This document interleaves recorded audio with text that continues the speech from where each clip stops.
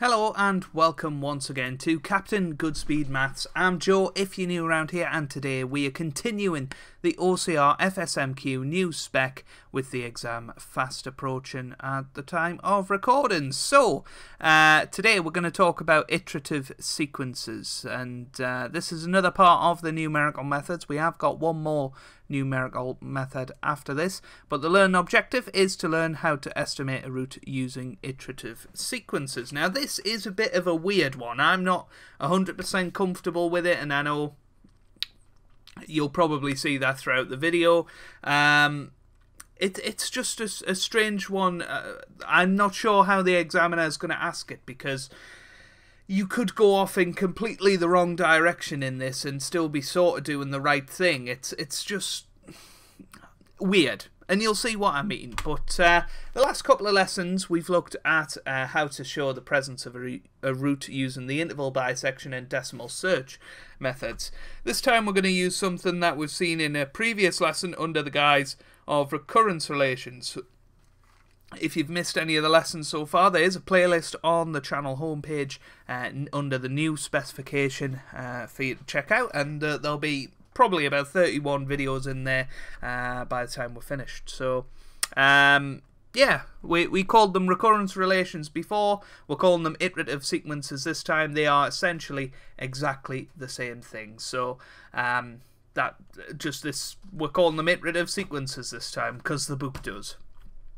Uh, some iterative sequences converge on a limit while others diverge. So we're just going to define those things now. So a sequence or series converges if after a certain number of iterations we see that it tends to a certain value or limit. So that means, you know, after maybe seven or eight uh, iterations of putting numbers into these sequences, we start to see that it's 1.47, 1.48, 1.48, 1.48, and it's converging. It has converged to a limit of 1.48.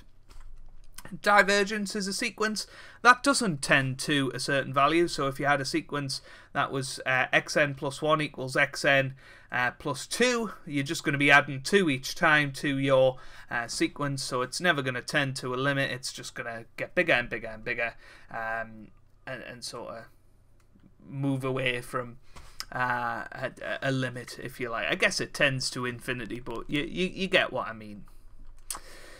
Uh, example 1 then. Use a convergent uh, iterative sequence to find a root to two decimal places of the equation x cubed minus x squared minus 1 equals 0. So first we rearrange the equation to get x equals something. Now you might be thinking, well, how we're going to do that? There's two x's in there. Well, exactly. That's why this is weird. But essentially you want the highest order uh, X on the left hand side and everything else you want to chuck to the right hand side.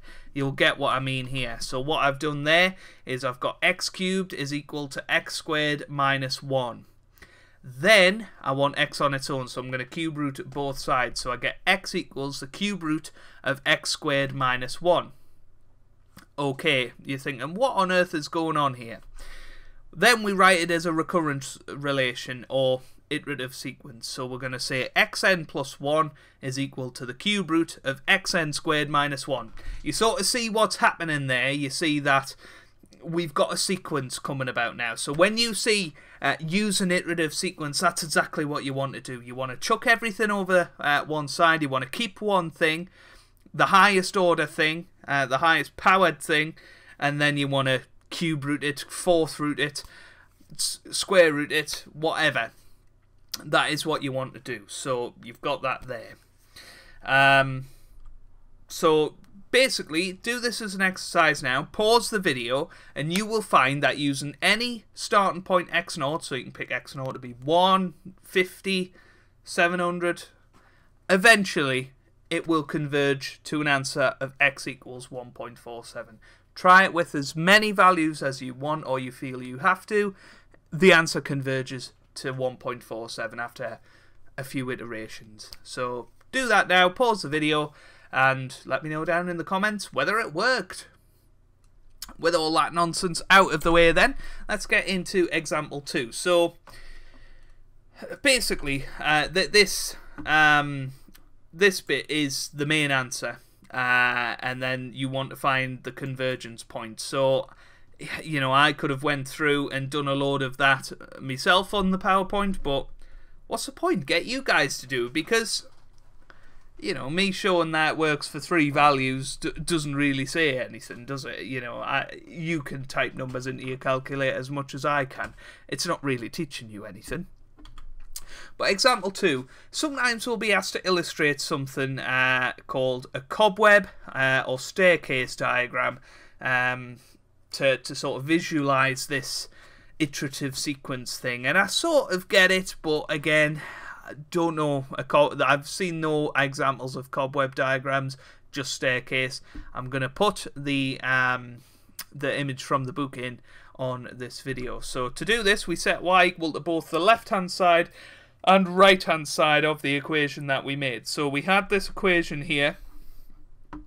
Um, now we're not thinking about the iterative sequence, we're thinking about this here. So this x equals the cube root of x squared minus 1. So we set y equal to the left-hand side of that, i.e. y equals x, and we set y equal to the right-hand side of that, i.e. the cube root of x squared minus 1. Uh, and we're going to also call that g of x just because I can't be bothered to write that every time. So you set y equal to the left-hand side and you set y equal to the right-hand side and then we plot. So there you go. So you get that there. So we've got the line y equals x going up uh, in that red line. Then we've got the orange line, which is uh, y equals uh, the cube root of x squared plus 1. Now, I would be astounded if they wanted you to plot that uh, without sort of giving you any guidelines. Uh, you know, particularly the cube root of x squared plus 1. You can generate some coordinates and get a, a decent feel for it, but you can see there that it does converge. Um, it converges to this point here, basically. Uh, so anyway, what we want to see uh, is you go straight up from x naught. So your value of x naught was it seven? Was it one? Was it two? All of those things. You start at x naught, then you draw up to uh, g of x, or or the line you hit first. Then you go horizontally over to the next one, and then you sort of go down across between them after that. So you go up to one, across to the other, and you keep going vertically and horizontally and alternating which ones you do.